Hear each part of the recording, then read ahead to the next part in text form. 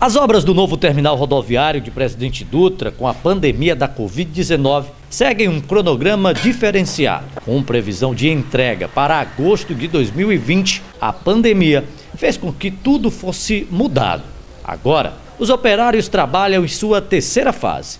A terceira fase das obras do novo terminal rodoviário de Presidente Dutra estão bastante avançadas. Nesse momento, os operários que estão montando a estrutura metálica que fará parte do teto estão trabalhando. Hoje ainda, as colunas que dará sustentação ao teto serão montadas e até o final de semana a gente vai ver muita coisa avançada por aqui. Aqui, as estruturas que farão parte do teto já estão finalizadas. As obras dos guichês, banheiros e restaurantes estão em fase de acabamento. Nos próximos dias, as colunas de sustentação do teto serão erguidas, ficando apenas a parte da praça, estacionamento dos ônibus e asfaltamento, que estão previstas para acontecer no segundo semestre. O novo terminal rodoviário de Presidente Dutra está a cada dia mais próximo de ser entregue à população.